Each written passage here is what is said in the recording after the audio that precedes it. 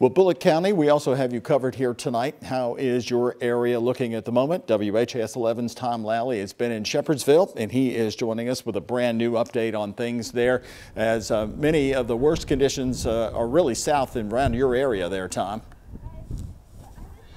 It's like you're here, Doug. The snow actually just started to die down. And so let's get that final total of what we're seeing here. We're at the Shepherdsville City Park, and it's right on three inches here at the park. Oh, people have been sledding here today. The school district had uh, virtual learning, and tomorrow kids have a snow day. Uh, we talked to one dad who was the only uh, father, the only family here at the time. We asked him why uh, people weren't coming out. Here's what he had to say.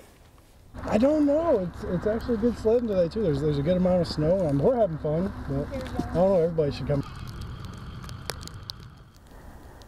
And sure enough, as uh, people started to get out of work. We saw more people show up here, but a lot of folks are choosing to stay home. Like Gabrielle mentioned, stay safe and warm inside their own place. Uh, the wind is still pretty strong here. It's feeling colder than the temperature actually shows. We do have some people, just as the sun is going down, squeezing in the last bit of time they can sledding. Uh, a wipeout there. Uh, there's about three inches of snow, so it's not all packed down yet. It's hard to you know, get that going. Uh, I'm going to toss it back to you, Doug, live in Bullitt County. Tom Lally, WHAS 11 on your side.